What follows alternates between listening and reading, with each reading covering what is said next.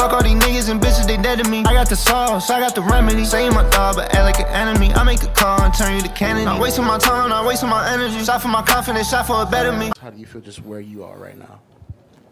Uh, you know, like I said last year, you know, we had a team meeting and it was brought up some things that I could do better, especially like with buying into the program. And right now it's tough right now, but like I said, right now I'm taking a little back seat right now, and I'm uh, I'm trusting the process. I'm trying my best to buy in right now. Stop the cap. Zion, stop the cap. You ain't buying the, to a goddamn thing. You ain't buying into anything the team's offering right now. Let's be real. You don't not want to be on the team. Just admit it. You're trying your best to stay on the team. You're trying your best to give give something to the team because I actually last year I know how much derailed you were from last year. I know injuries really derailed you, and we know I'm gonna get into a lot in, into that and why you want to be on another team. I'm gonna explain what team you want to be on. What's good, y'all? It's your boy. We're back again with another video. Yeah, this video is about Zion. It's not gonna be really about the Pelicans because let's be honest, the Pelicans right now, as a team, don't look at the record. They're a disappointment. They're a disappointment. Here's why. Injuries. Yeah, CJ McCollum, you know, out for if hopefully he gets better. I hope it's like a collapsed lung.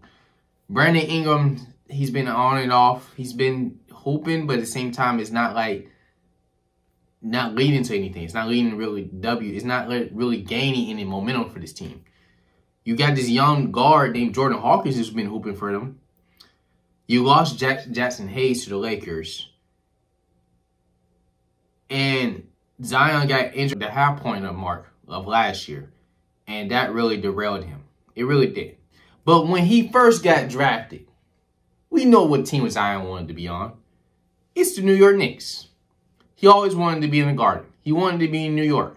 But he was obviously buying into this team. He was obviously wanting to give it to an alternate team. When he first got into the league, he's putting up numbers. He's unstoppable. I want to see the Zion back when he was in high school. That Zion. The Zion that, other than with Victor Wembanyama, everybody was calling Zion the phenom. Calling him the next LeBron James. His athleticism was the best athleticism we ever seen since LeBron. His willing to block shots at a high level. We had his reach all the way up here. Yeah, we I remember those kind of highlights back then with Zion. Zion's you got to check out his his high school mixtape. One of the best high school mixtapes you will ever see. That's how great Zion Williamson is. When he got into the league, obviously he got a little overweight. He was already stocky a little bit coming out of high school and college when he when he went to Duke. And obviously, when he was at Duke, he performed at a high level. Now, when he got drafted, came out a little bigger right? Still putting up numbers, still being dominant. At one point, he averaged around 27 points, 10 rebounds. He's dominant. One point, he was going to be an all-star in his rookie year or, or second year. I believe he made the all-star team his second year or his third in the league. One of those two. But now that we get to this point, we remember what happened last year. Zion had a huge injury that set him back. And the real story was Zion wanted to come back, but the GM held him back. The team held him back. They didn't they don't want to take a risk on his injury. And, and that's led to the Pelicans being a play-in team. If he would have came back, they wouldn't they would have been easily in the playoffs but they led to a play-in team versus the OKC Thunder, the young OKC Thunder team led by uh, a all NBA player in Shai Gilgeous-Alexander, who was dominant that game and ended up beating them. Zion was very upset, very upset. You can you can see the his demeanor on the on the bench when they had big time games.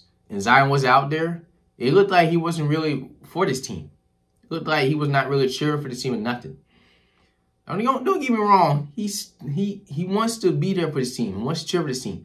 But now that we heard that interview, he don't want to be there. He don't want to be there. He wants to be in New York. Straight up. Really, he wants to be anywhere else but but New Orleans right now. Because obviously he's trying to stay in shape too, but it's hard to stay in shape in New Orleans. Let's be honest. They got some really good good food. They got some amazing seafood out there. He probably eating all that gumbo out there, all that all the crab, them crab legs, crawfish. I mean, you can name it, tilapia, shrimp, all that out there. Probably eating all that, and then some. And then we had the allegations a couple months ago with the baby mama and the stripper. So Zion has a lot on his plate. And so I believe all of this is really distracting him. And that's why he's not really playing to his full potential on his team. Especially this year.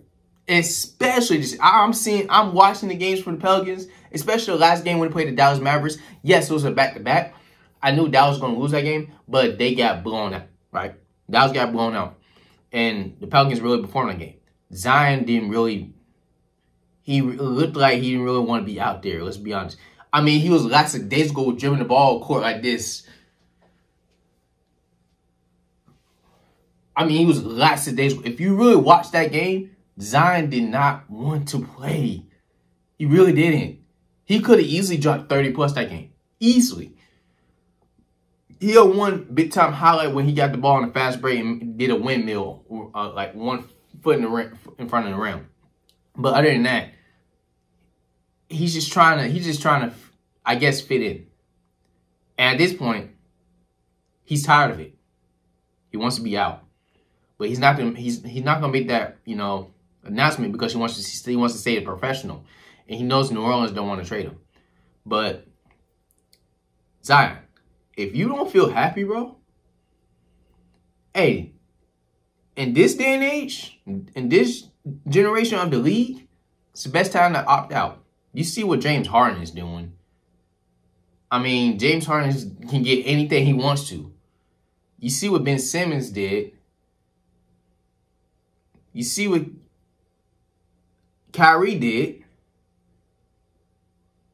Hey, Zion, we know what type of player you are.